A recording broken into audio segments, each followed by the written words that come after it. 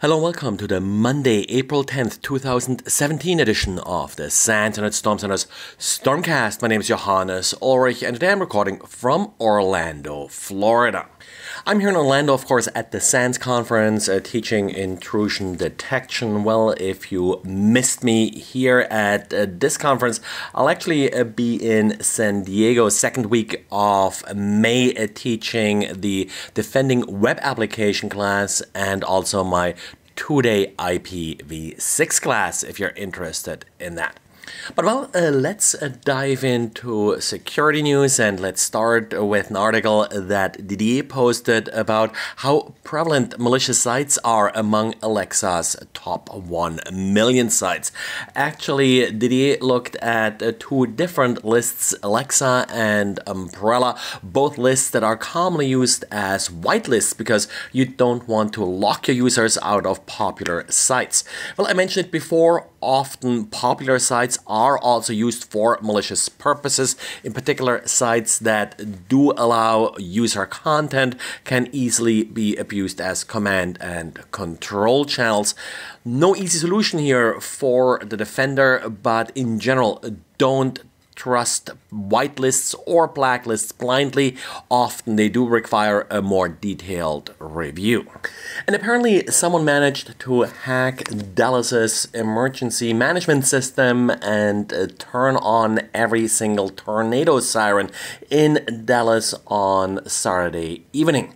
Now, while this attack first may appear more as a prank than a serious attack, there was actually a quite serious side effect of this attack in that the confusion it caused did flood 911 operators with calls and there were substantial delays at times in answering 911 calls as a result of this attack. These type of systems have been known to be quite vulnerable for quite a while now, also emergency broadcast systems and so it has been pointed out in the past that authentication like isn't all that great for uh, these systems.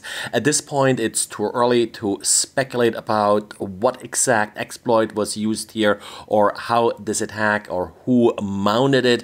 Well, uh, the guess so far is that the attack came from a local source, which probably means that it was more intended as a not so sophisticated prank. And Shadow Broker, the organization that did try to sell a stash of stolen NSA hacking tools and already has released a number of interesting tools in the past, now made available the password for the final archive, which held all the tools they were intending to sell. So at this point, uh, these tools are known. I took a quick look at the files and really didn't have the time to adequately analyze them. A lot of them are only available in binary form as far as I can tell, which of course makes analysis a bit more complicated of uh, these tools. There are a couple of scripts like shell scripts, Perl scripts, and the like uh, that are available in the source code form and uh, took a quick look at them. A lot of them older tools, so nothing really all that exciting. Uh, a lot of sort of post exploitation tools like covert channels. Haven't really seen sort of a smoking gun yet, like a big uh, zero day, but like I said, I haven't had a chance uh, to do a detailed search on the tools or run a lot of them uh, to figure out what they actually are intended to do. Now, Tavis Ormandy already commented that uh, he found uh, one exploit in this leak for a vulnerability that he disclosed in 2009, but the file actually that was leaked was created a couple years before uh, this particular vulnerability was originally announced and patched. And both McAfee and FireEye over the weekend somewhat independently released details about a zero-day vulnerability in Microsoft Word that they have observed being exploited.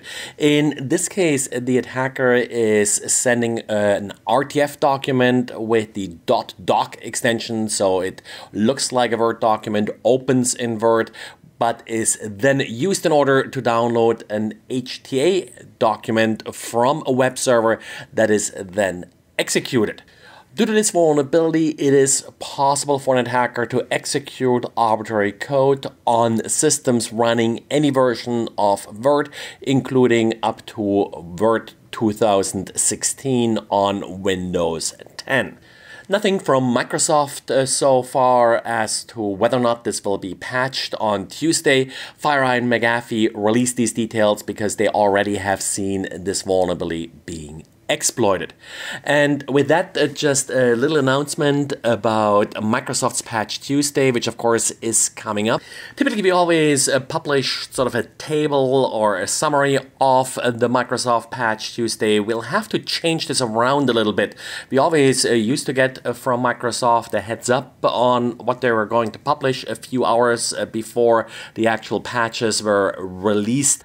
Now, Microsoft notified us a couple of weeks ago that they are discontinuing the program under which uh, they did this type of uh, pre release, which of course makes it much more difficult for us to provide this overview. So we haven't quite decided yet uh, what we'll do on Tuesday, but most likely what I think we'll do is a brief summary, a diary about the patches that were released, and then maybe later in the day or whenever we are going to have the more detailed overview of which patches were released.